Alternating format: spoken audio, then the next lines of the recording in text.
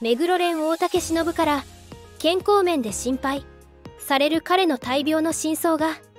海の始まりで彼が病欠せざるを得なかった理由判明。こんにちは。スコープ芸能です。9月23日に最終回を迎えたフジテレビ系月9ドラマ「海の始まり」公式インスタグラムが主役の目黒蓮さんと古川琴音さんがセルフィー写真を撮影する様子を捉えた。メイキング映像を公開し話題となっています。ドラマで目黒さんは月岡夏を古川さんは夏の元恋人の南雲瑞希を演じています。メイキング映像は瑞希が「ここにいた写真撮影風景」というテロップから公開。夏の部屋に飾られた水木と海の写真。その隣に置かれた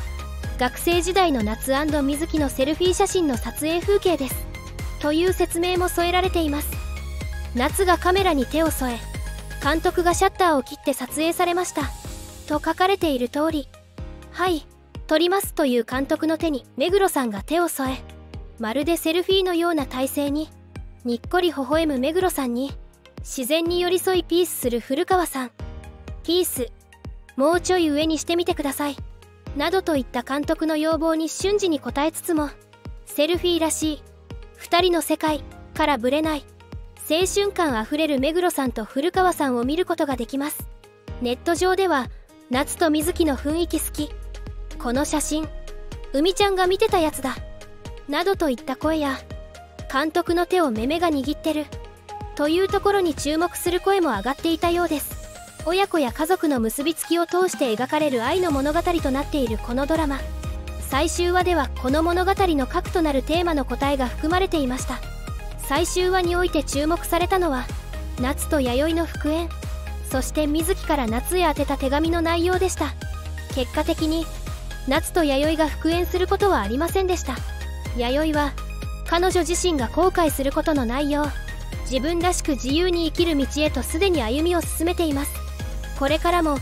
彼女は海と友達として関わっていくだろうしそれ以上でも以下でもない関係性を維持していくのではないでしょうか。水木が綴った夏宛ての手紙には海と一緒に生きることを選んでくれた夏への素直な感謝とこの物語の根幹を担うテーマ。人はいつどのように父となり母となるのかに対する答えが含まれていました。始まりは曖昧で終わりはきっとないと手紙の追伸に書かれていた言葉には海はどこから始まるのかという娘の素朴な疑問に答える過程で行き着いた言葉ですがそのまま親や親子関係を表す的確な表現にも思えてきます。いつの間にか始まっていて時に自覚を交えながら終わることなく続くものが親子関係なのかもしれませんね。そしてこれがこのドラマのテーマに対する答えだったように思います。そんな海の始まりは9月23日に最終回を迎えましたが大竹しのぶさん演じる茜が夏にかけた言葉が SNS で話題になっていました。お昼食べた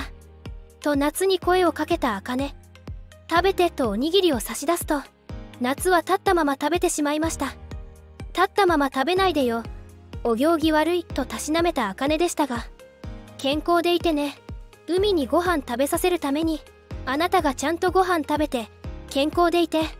と夏に気遣いを見せていました。SNS ではこの場面についておにぎりを立ったまま食べながらのちゃんと食べて健康でいてのやり取りがとても印象深い。健康でいてね。で急に涙止まらなくなった。健康でいてこれが一番染みたなどの声が上がっていました。そんな夏を演じた目黒さんといえばドラマの公式 SNS から体調不良による休業の発表が出たこともあり多くのファンが目黒さんの体調を心配する声が上がっていました。その後目黒さんが公の場に登場したのは2024年9月17日です。およそ1ヶ月の間療養していた目黒蓮さん久々に公の場に登場したのはモトローラ社の新機種モデル発表会の場でした。モトローラ社のアンバサダーに抜擢され新 CM が9月17日から放送されるにあたり CM 発表会も兼ねた会見の場所に登場しました。以前と変わらず輝かしいビジュアルで登場した目黒さんが見れたことは嬉しかったですが体調不良のことが正直心配だとの意見も上がっていたようです。しかもモトローラ社アンバサダーという大舞台での復帰でしたので新製品発表会に合わせて無理して復帰したのではないかとの心配の声も見られました。8月15日に体調不良を事務所に訴えたところから9月17日の登場までおよそ1ヶ月かかっています。徐々に仕事復帰と8月21日に発表されていましたが実際に公の場に登場したのが9月17日でした。その間収録や雑誌撮影ツアーの準備等をしていたのかもしれませんね。生の目黒さんを見るのが1ヶ月ぶりだったためファンからは喜びの声がたくさん上がりました。そんな目黒さんですが公式発表2日前から体調不良が噂されていました。目黒さんは「海の始まり」のドラマ放送開始当初から放送日には自身のインスタグラムを更新し見どころや感想を記していました。しかしこれまで欠かさなかった主演ドラマ「海の始まり」告知のインスタグラムが8月19日に更新されることはありませんでした。このことから SNS 上ではやっぱりしんどいのかな？との書き込みも見られ公式発表よりも前に体調不良説が持ち上がっていたようです。結局のところ公式から病名の発表はなかったのですがファンの間では過労コロナうつなど様々な噂が飛び交っていました。コロナ疑惑については前述の通り事務所からは8月15日に体調を崩して8月21日から徐々に復帰するとの発表だったため外出できないほどの症状だったのは1週間だったと予想できます。ちなみに厚生労働省のコロナに関するガイドラインには症状がある場合は発症後7日間経過するまで自宅療養と記載されています。ちょうど1週間なのでコロナだったのかと噂されているようです。しかし新型コロナウイルスが5類移行後コロナ陽性だったことを明かす事務所はなくなりましたのでもしコロナだったとしてもスタート者から発表されることはなかったでしょう。このことからあくまで噂に過ぎないようです。またうつではないかと言われる理由についてはアイドル業と俳優業の両立により目黒さんが働きすぎていることは一目瞭然でした。一部報道では月9ドラマの撮影時に顔が死んでいる状態だとも書かれています。過度な疲労や月9主演の精神的プレッシャーストレスから来る一過性のうつ状態だったのでは？とも噂されました。アイドルでなくても労働時間が長くなると疲れが取れずにうつ病の疑いや不安を感じる人が増えます。この時の目黒さんがこの状態だったのであればキラキラの笑顔で9月17日に登場するまでに想像もできないほど大変な日を乗り越えたのだと思うと胸が痛みますね。そんな目黒さんですが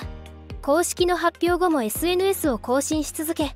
ファンへの気遣いを忘れなかった姿勢も評価されています。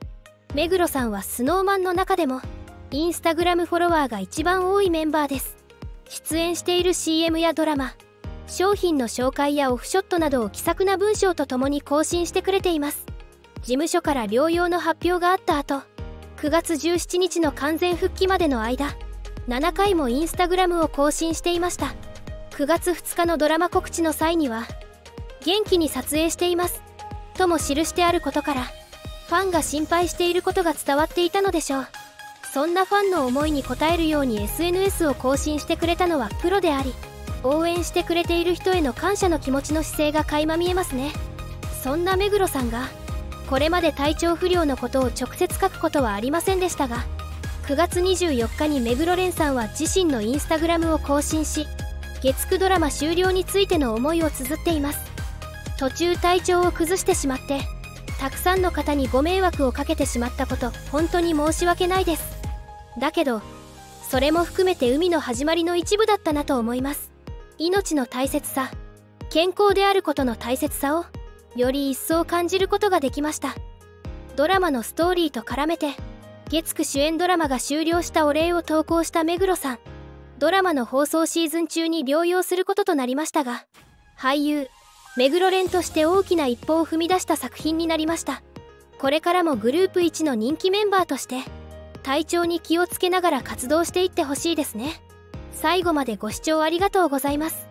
よろしければチャンネル登録と高評価ココメントをお願いします。それでは